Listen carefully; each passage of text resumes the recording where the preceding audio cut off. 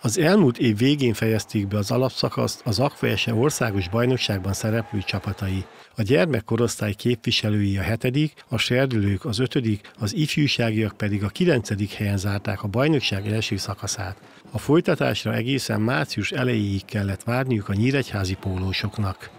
Elég hosszúra sikeredett a felkészülés, hiszen a bajnokságunk is később indult, sajnos, és meg is látszik ez a játékunkon, hiszen még nem rázottunk bele a, az újrakezdésbe, viszont azért szeretnénk minél jobban teljesíteni. Sajnos az elmúlt két fordulóban ez nem sikerült, viszont bízok a csapatba, a serdülőbe és az ifibe is, hogy ennél jobb és szebb játékot fognak produkálni, azért szeretnénk minél jobb védekezésre és támadással előrukkolni majd.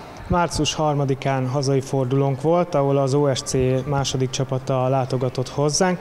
Sajnos nem úgy sikerültek a dolgok, ahogy azt szerettük volna, és minden három korosztályban vereséget szenvedtünk. Most hétvégén Sopronban voltunk egy nagy túrán, ahol ugyanúgy nem sikerültek a győzelmek, viszont látszik az, hogy mind kell javítani, és dolgoznunk kell tovább ezen. Mint a szakember elmondta, a nyíregyházi vízilabdázóknak egyrészt ismét fel kell venniük a mérkőzések ritmusát, másrészt szokniuk kell az őszinél erősebb ellenfeleket. Ezen kívül vannak olyan játékosok is, akik a korábban megszokottnál kevesebbet tudnak edzésre járni. Az észak-keleti bajnokságban voltak mérkőzéseink, azonban az országos bajnokság nem ugyanaz a szint, mint az észak-keleti.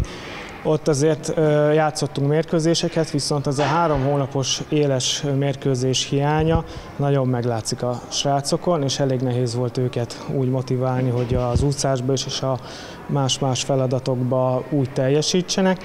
Remélem azért bele fogunk rázódni újra a dolgokba, és a következő fordulóban majd szeretnénk győzelmekért harcolni. Vannak, akik érettségire készülnek, és ők így kevesebbet jönnek edzésre az ifi korosztályba. A serdülők viszont folyamatosan járnak, és az a mag, aki kialakult, azért ők, ők úgy teljesítenek, de azért rajtuk is meglátszódik ez a meccs hiány.